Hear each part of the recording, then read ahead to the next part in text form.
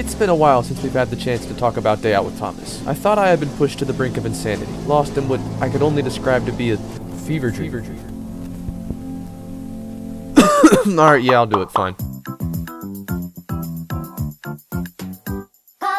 Is there seriously not a single event that can make Rusty look okay? Like, what is this? Strasburg won't even put a face on him. Glenbrook, you're just wrong. You're just wrong all around. How did you make a train look like it has spine problems? East Lancashire, Lancashire? I don't know how you say it. That's actually pretty good. I'm enjoying this model. See, this Thomas isn't bad anymore. Why would you put the screw to secure it on the nose? Shit looks like a pimple. And they did it to James too. Of course they did. Oh, yeah, while we're on this note, here's James. You know what? The other one was better. This one may have a stress pimple, but this one stresses me out.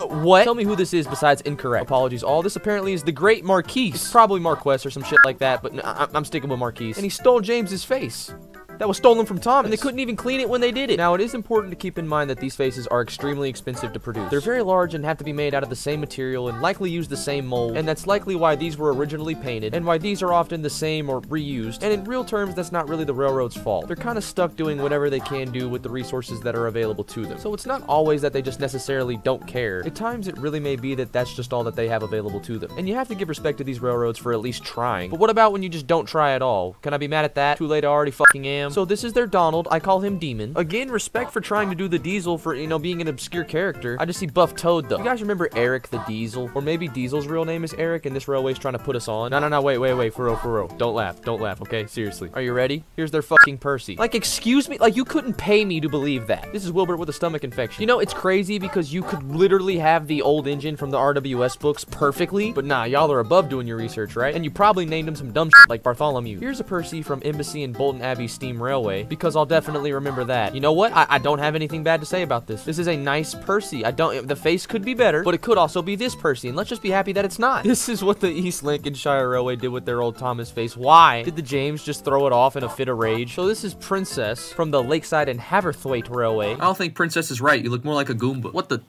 Oh, motherfucker. Why, Trevor? Why? Just leave him alone. Y'all saved him from scrap just to make him live in a purgatory. Cheltenham. Or is this Henry? How about just gross? Alright, I've said it once. I'm gonna say it again. UK, don't get too mad. You guys like to get emotional at these videos. I'm not coming for you guys. I'm with you. I know these events are not the easiest to pull off.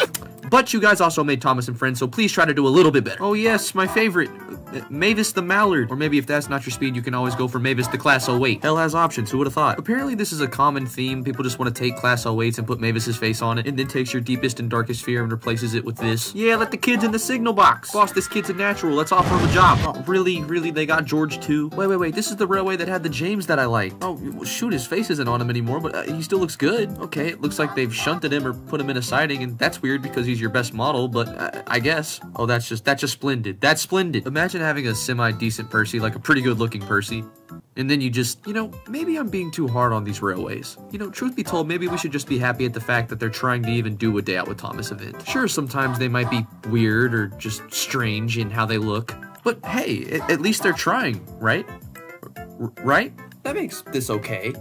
And I guess this too, at least they did try. All of this is just fine, right? Because at, at least they tried. Yeah, sure, but where did you fucking try? Real quick, I just wanted to apologize to you guys for one, taking so long to make this video, and two, of course, for the audio switching up halfway through it. The mic that I normally use decided to just stop working halfway through making this video, so I did have to resort to a different means, but I wanted to make sure I could still get this video out to you guys and actually finish it. I wish I had more to talk about when it comes to the subject of Day Out with Thomas. However, recently I would find myself in a bit of a rut, and really unable to find a whole bunch of new information that I hadn't already talked about. So while I'm not sure if I'll be making another one of these videos, if there's anything that I haven't talked about or something that you guys think I should about, be sure to let me know down in the comments as I don't want my content to get boring to you guys. Again, I would also like to say that I'm not trying to throw any hate or shade on these railways, and I'm especially not trying to ruin anybody's childhood. Remember, this is my childhood too. I just think it's a fair statement to say that almost everywhere could do a little bit better with their Day Out with Thomas events. It's never easy or cheap to repaint an entire locomotive to look like a Thomas train, and oftentimes it's not practical. So again, maybe we should be a little bit proud and happy at the fact that these railways are even trying. But it's still fuck you guys for this. You guys had one good shot.